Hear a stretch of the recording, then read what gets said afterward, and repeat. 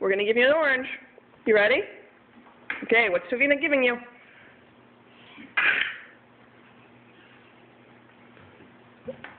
Okay, that's enough because he just stuffs them in his mouth. All right, where'd that orange go? Uh, mm, What? Is there an orange in your mouth? Mm, no. No.